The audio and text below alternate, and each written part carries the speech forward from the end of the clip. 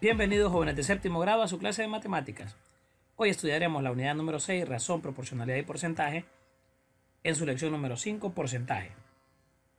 La sección a estudiar será el cálculo del total dando un número y su porcentaje. Les saluda el profesor Obed Jonathan Méndez Flores, docente del Centro de Educación Básica José Castro López, ubicado en el departamento de Cortés, municipio de San Pedro Sula. Le daremos continuidad a la clase 6 de las 6 que tenemos planificadas el objetivo será resolver problemas calculando el total dado un porcentaje del total. El contenido lo encontramos en la página número 179 de la guía del docente y en la página número 145 del libro de texto del estudiante, mismo que podemos descargar ingresando al portal educativo Educatrachos en el siguiente link. A continuación, daremos solución a la tarea asignada el día anterior. Esta consistía en resolver el conjunto de ejercicios 5.6 que nos planteaba Resuelva los siguientes problemas. Inciso A. De 40 estudiantes de la sección B, 22 son varones. ¿Qué porcentaje de alumnos son mujeres? Recordemos que mencionábamos en la clase anterior lo importante que es la lectura. ¿Por qué? Porque aquí nos dan la cantidad de varones, pero en la pregunta nos cuestionan acerca de la cantidad de mujeres. Por lo tanto, decimos lo siguiente. 18 estudiantes son mujeres. ¿Por qué? Porque si 22 son varones y en total hay 40, entonces el resto son mujeres. Así que el resto son 18. 40 menos 22 es igual a 18 estudiantes que son mujeres. Ahora planteamos las magnitudes. ¿Cuáles serían las magnitudes? La cantidad de estudiantes y el porcentaje. Muy bien, coloquemos los valores dados en la tabla. Estos serían 18 mujeres porque en la pregunta hace referencia a la cantidad de mujeres y a ella le corresponde X porcentaje, porque eso es lo que nos consultan, qué porcentaje de mujeres hay. Ahora, otro valor que tenemos sería 40, que es el total. Y a este le corresponde el 100%. Recordemos que siempre al total se le asigna el 100%. Muy bien, ahora resolvemos cómo. Multiplicando la cantidad por 100 dividido entre el total. Miren, la cantidad que es 18 por 100 dividido entre el total de alumnos que es 40.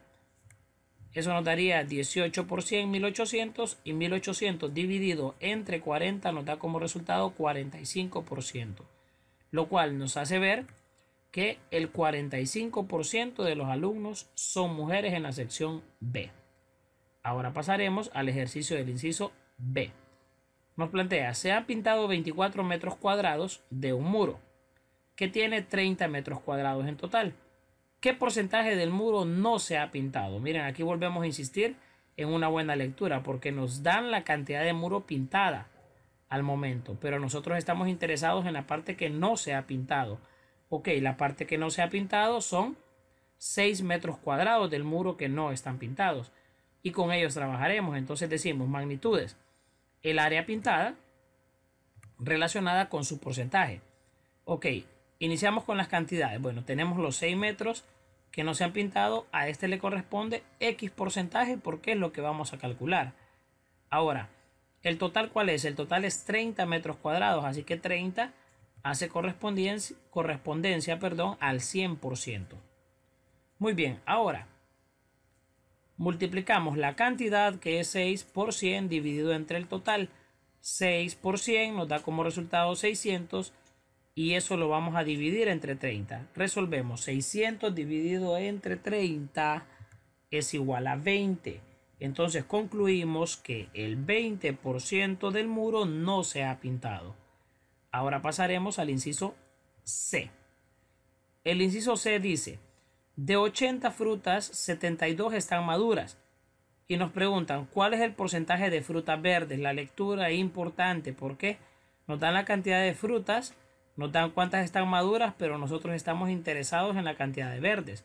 Y la cantidad de frutas verdes serían entonces 8 de las 80 que tenemos en total porque 72 están maduras. Ahora, establecemos las magnitudes. Las magnitudes serían la cantidad de frutas y el porcentaje relacionado a cada cantidad. Ok.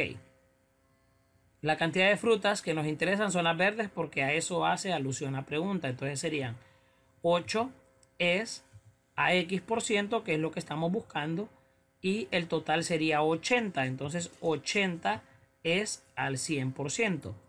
Multiplicamos la cantidad por 100 entre 80 para obtener este porcentaje. Cantidad por 100 dividido entre 80, eso nos daría 8 por 100 entre 80, 8 por 100 es 800 y 800 lo dividimos entre 80. 800 entre 80 es igual al 10%. Entonces significa que el 10% de las frutas están verdes. Ahora iniciaremos la clase resolviendo problemas con respecto al cálculo del total dando un número y su porcentaje. La base de esto es encontrar el total de acuerdo a otros datos que vienen dados en el problema. Para ello estudiaremos el ejemplo 5.8 que nos plantea. El 60% de un curso son varones. Si hay 30 varones, ¿cuántos estudiantes tiene el curso? Entonces, aquí solo sabemos datos con respecto a los varones. Dice el porcentaje de varones y nos da también la cantidad de varones. Por lo tanto, establecemos las magnitudes. Las magnitudes son la cantidad de estudiantes que está relacionada a sus porcentajes. Bueno, la cantidad de estudiantes que tenemos aquí son los 30 varones, entonces colocamos 30 varones y el porcentaje de varones también lo conocemos, por aquí dice el ejercicio, el 60% son varones.